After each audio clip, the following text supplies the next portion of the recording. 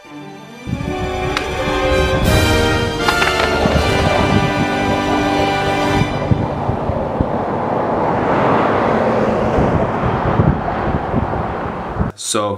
today's video you're about to see and witness one of the most memorable battles that I went through as I was progressing in skateboarding. Like I still think about this to this day. Like how did I do that? But who knows?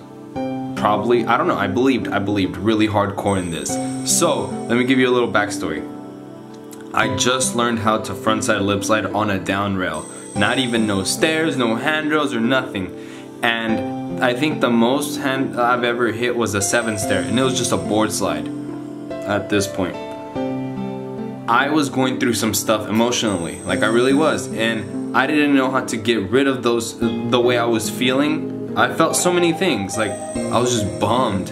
And I remember like looking at the nine stair, like we were skating, that day we were skating the quad, the four block that you've probably seen already in the videos. And what ended up happening was I was rolling up to it and I was like, I think I'm gonna do this. Maybe this, maybe I could apply what I'm feeling, like all these emotions that I'm, I'm feeling, and apply it to how I'm gonna hit this nine stair. Like maybe the fear won't be there. But guess what? Dude, I was really scared. I was scared out of my mind, but I was telling myself, maybe if I land it, a lot of the stuff that I'm feeling will go away. Well, let me tell you, to this day, I feel like I should have got hurt really badly trying that because I wasn't prepared mentally or like front lip wise. I wasn't practicing that trick on anything. So whenever I did land it or like the, the few attempts I was getting like I was sketched out. Like I felt like I was scaring my friends.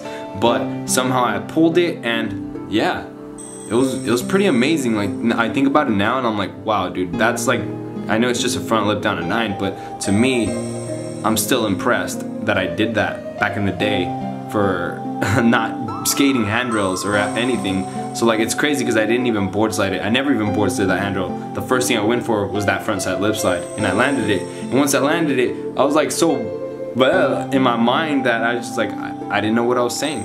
But enjoy the clips. Here you go.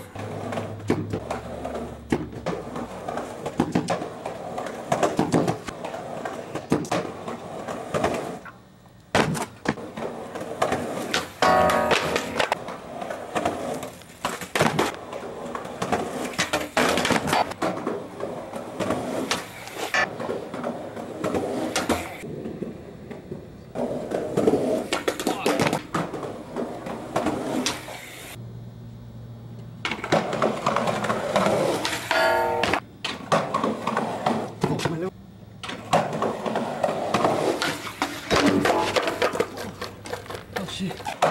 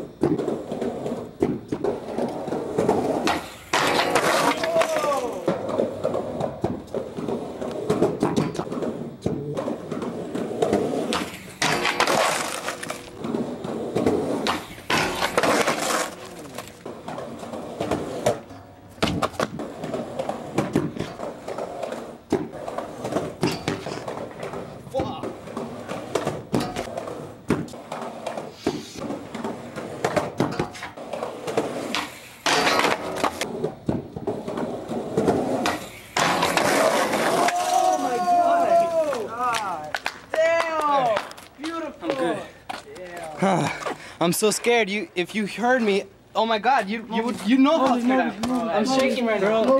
I'm shaking. Damn. I'm so shaking. I'm good. I'm good. I'm so scared. I'm so scared. Oh my God.